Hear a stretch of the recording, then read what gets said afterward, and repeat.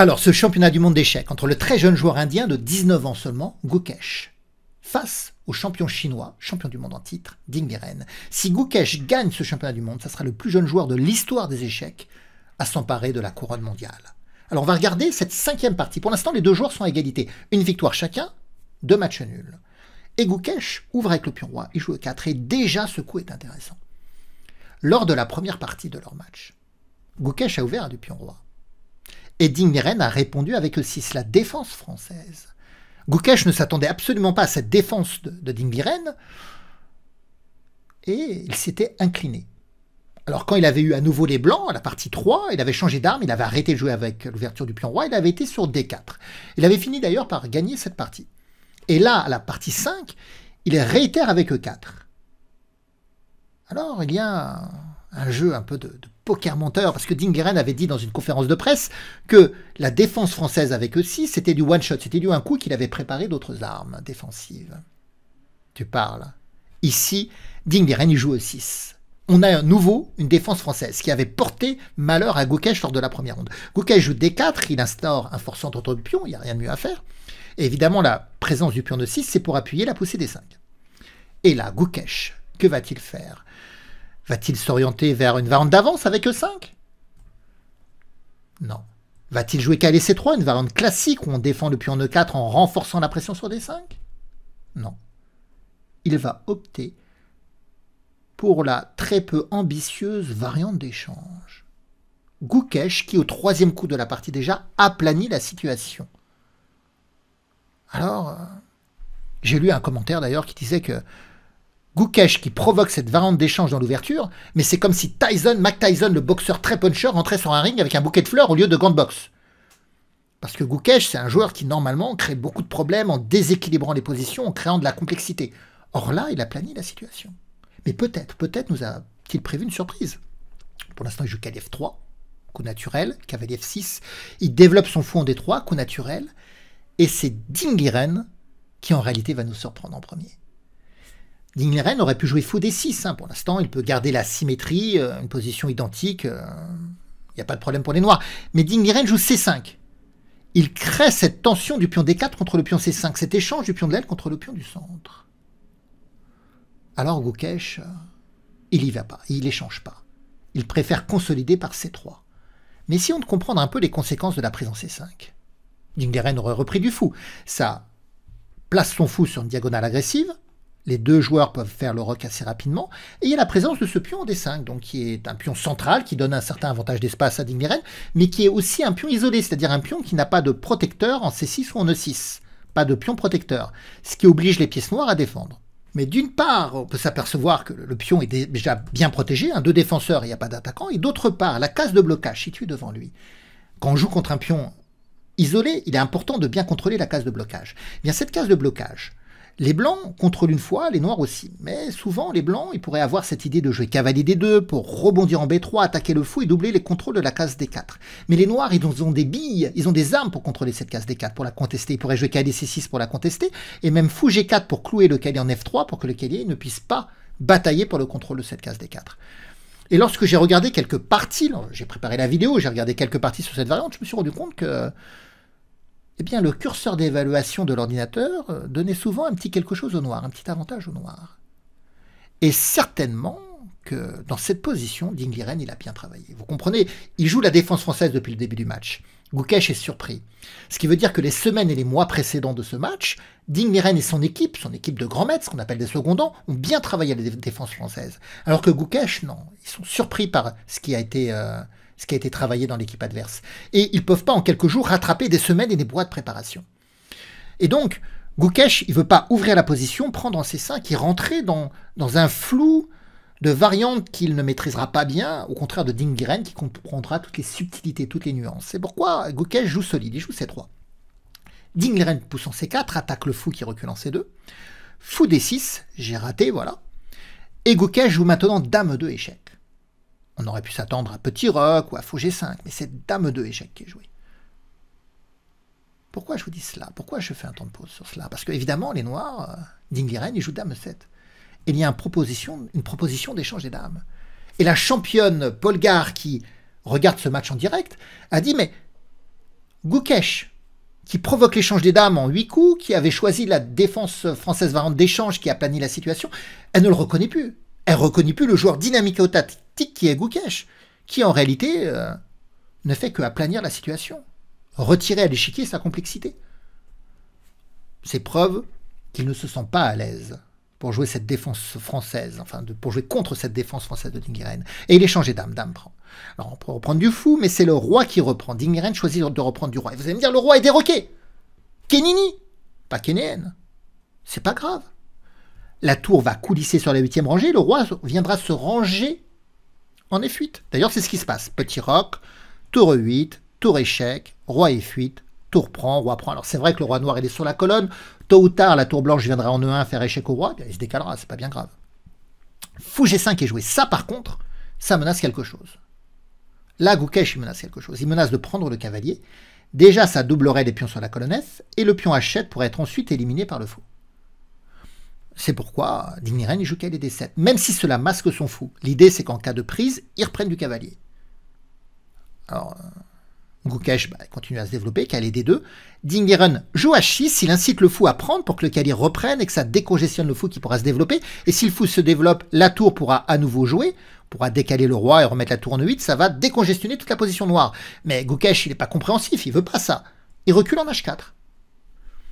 Et Dingeren, il est embêté parce que s'il veut bouger ce cavalier pour libérer le fou, il y aura une prise en F6 qui va dégrader la structure des pions des noirs en créant des pions doublés, isolés. Euh, et si à votre niveau ou au niveau amateur, vous pouvez considérer que c'est pas bien grave, au niveau championnat du monde professionnel, euh, c'est déjà très inconfortable pour les noirs à jouer ce type de situation.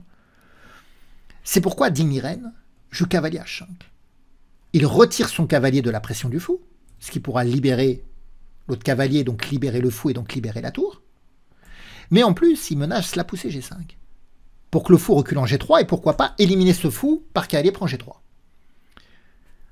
Tour un échec, on s'y attendait que le roi devrait se décaler. Et là, Gukesh, eh bien, il prend les devants. Il ne veut pas attendre G5, fou G3, cavalier prend, il joue G4 lui-même. Pour que le cavalier parte en F4 et que le fou vienne en G3. Cavalier F4, fou G3. Et là, les noirs jouent cavalier B6. Ils libèrent le fou en C8 pour attaquer G4. Et comment défendre G4 si on joue H3, il y aura cavalier prend H3, échec. Échec. Parce que sinon, euh, il y aurait euh, fou prend fou. Hein. Il faut que ce soit sur échec. Alors on peut faire fou prend, mais ça laisserait le fou de case noir au noir euh, bien placé. Et là, Gukesh, il fait parler sa, force tactique, sa force de calcul. Et il joue G5. Vous allez me dire quel calcul? Si les noirs prennent, qu'elle les reprend, il n'y a pas de calcul, hein. c'est trop simple. Oui, mais il faut s'intéresser à cavalier H3, l'échec intermédiaire qui attaque le roi et qui attaquera deux fois le pion G5.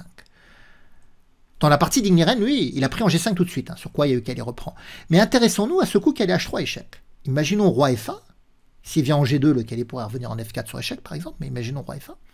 Là, les noirs peuvent pas prendre en G5, bien sûr, parce qu'ils perdraient le fou, et même le mat d'ailleurs. S'il y avait cavalier prend G5, fou prend D6 échec, la tour contrôle, roi G8, tour E8 mat, parce que le fou ôte la case H7 de fuite. Mais d'accord, après cette poussée G5 qui avait des H3 échec, roi F1, les noirs vont d'abord échanger le fou, pour ensuite reprendre en G5. Sauf que les blancs, hein, ils vont pas prendre en G3 tout de suite. Ils vont intercaler, Goukesh, c'est ce qu'il avait préparé. Il avait préparé la prise en H6 intermédiaire. Parce que si maintenant les noirs veulent préserver leur pièce de plus et reculent avec leur fou, le pion vient en H7 et ça fera dame. Une dame imparable. Donc les noirs, ici, ils peuvent pas, ils peuvent pas euh, garder, garder la pièce. Ils sont obligés de le rendre, le fou. Ils doivent prendre en H6. Sur quoi les blancs prennent en G3. Et la position est légèrement mieux pour les noirs parce qu'il y a ces pions isolés. En F7, en H6, la structure de pion noir est plus morcelée, plus parsemée à l'aile roi. Et on sait que plus on a d'îlots de pions, c'est-à-dire de groupes de pions séparés les uns les autres, plus la structure de pion est fragile. Généralement, alors il y a des exceptions, mais généralement c'est mieux d'avoir des structures de pions compactes où les pions peuvent s'auto-protéger. Alors euh, c'est un petit détail, mais un petit détail qui peut avoir son importance dans les finales. C'est pourquoi après la poussée G5, eh bien, ne joue pas au plus malin avec cavalier H3, il prend G5, cavalier reprend. Le fou vient en D7, laissera coulisser la tour, cavalier F3, la tour vient en E8, et là Goukesh rentre en E5. Les noirs prennent, Goukesh aurait dû reprendre de la tour, mais il reprend du pion.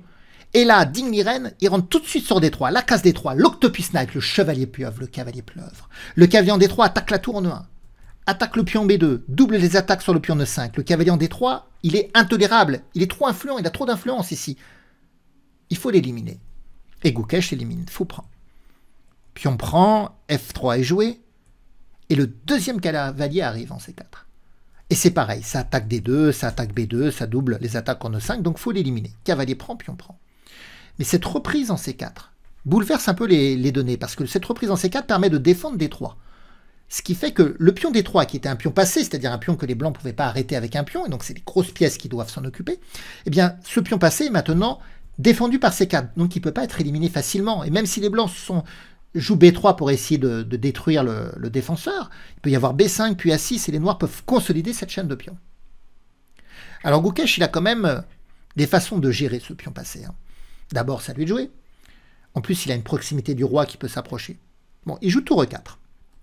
Il attaque C4, il menace tour D4. Et là, Ding Liren, il est très précis, très malin. Il joue fou C6. Attaque tour et pion. Il ne défend pas C4, mais en réalité, C4 ne peut pas être pris. Si on prend C4, alors tour D8, et le pion va aller à dame. Il va falloir sacrifier une pièce. Si les blancs jouent fou F4, on joue D2, il faudra donner le fou pour éliminer le pion. Et si la tour vient en D4, eh on échange, et le pion avance, et les blancs sont démunis pour empêcher la promotion. Donc fou C6, c'est très bien joué de Dingiren.